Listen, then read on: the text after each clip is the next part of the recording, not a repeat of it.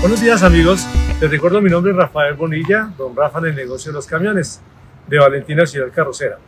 En el día de hoy vamos a hablar del aspecto del furgón, solamente del aspecto exterior. Tenemos varias opciones y en este momento tenemos aquí para poderles mostrar a ustedes cómo quedaría su furgón de acuerdo a la presentación que ustedes le quieran dar. Primera presentación en aluminio, les quiero explicar, nuestro aluminio viene protegido con un plástico que ya después de que está el carro terminado se empieza a retirar y se brilla para darle la presentación que, que, pues, quiere. Y aquí ya está completamente retirado y el aluminio se ve en todo su esplendor. El furgón tradicional es de aluminio, entonces se le hacen estas figuras para darle fuerza a la lámina y que no quede pues tembleque. Eh, el aluminio es muy normal, ¿sí? Ahora les explicamos qué tipo de aluminio es el que usamos. Eh, en el aluminio tenemos la ventaja de que pues, es un material más liviano, pero eh, igual es un poco más frágil. Al impacto pues se va a dañar mucho más fácil. no se va a corroer, no va a presentar oxidaciones y es lo normal de un furgón tradicional. No es tampoco muy amigable para el tema de la publicidad, porque nos va a quedar muy partida y empieza a levantarse la película, cosas que dificultan la publicidad. El segundo ejemplo que tenemos de furgón es un furgón en lámina galvanizada plano. Esto permite de que el cliente pueda eh, poner su publicidad en gran formato, ¿sí? Eh, al ser completamente plano.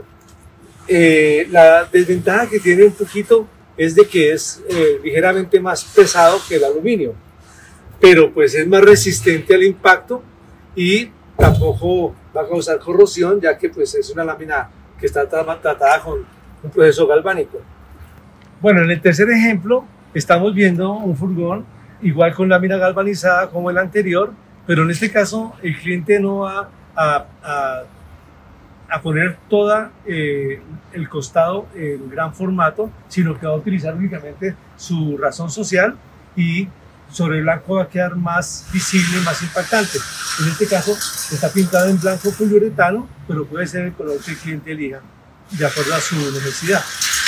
En este caso, ya después de pintado el, el furgón de blanco, ya vemos cómo se ha puesto pues, la publicidad del cliente en el costado. Eh, ya está la cinta reflectiva que es de norma, tanto en la cabina como en la carrocería.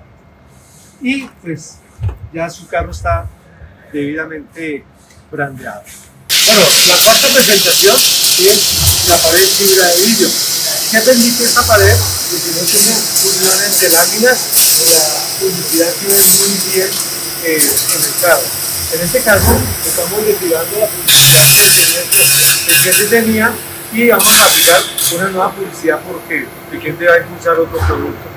Eh, para el caso, aquí podemos ver también la fibra de vidrio ya con un diseño que se le hizo completamente plana, lo cual le da una muy buena apariencia al vehículo. Estas opciones de terminación de los furgones también depende de lo que el cliente realmente quiere mostrar en su furgón. Hay gente que quiere pasar desapercibida o hay gente que quiere también aprovechar que esto es una valla ambulante y que de todas maneras todo el mundo la puede ver. Muchas gracias por habernos escuchado en el día de hoy. Espero que haya sido útil esta información. Buen día.